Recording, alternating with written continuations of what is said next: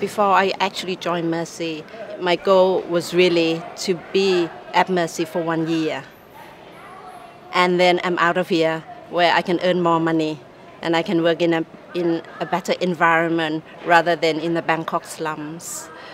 That was about 25 years ago that I joined Mercy.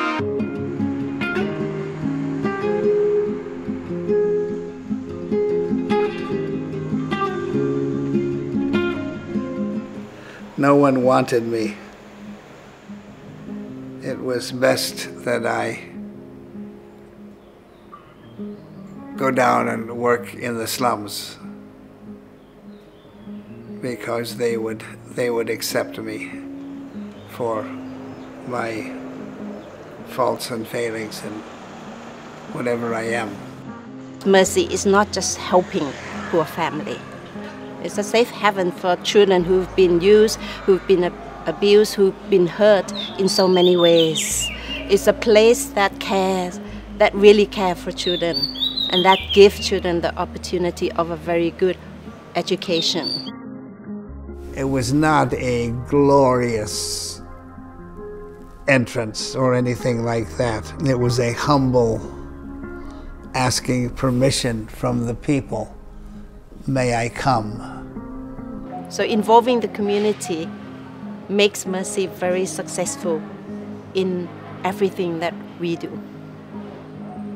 We don't involve the community, there's no project, there's no empowerment, there's no improvement.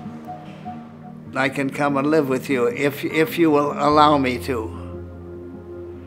And if you will protect me.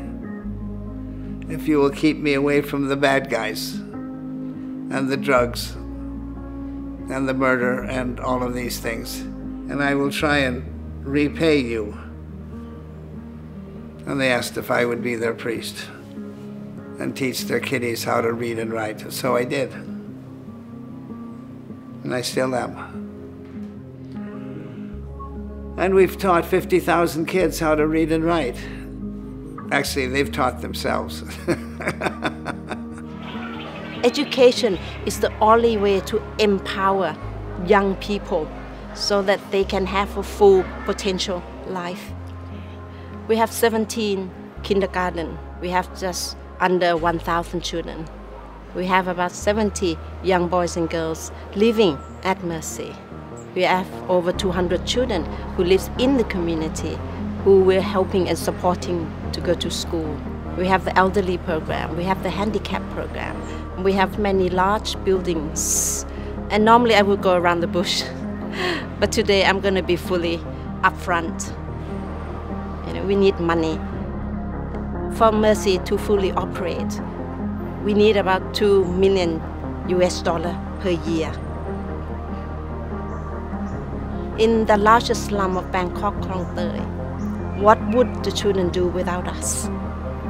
I don't even want to think of that day. To see the whole thing is an opening, a glimpse into the world you wouldn't find. And you don't think it's happening.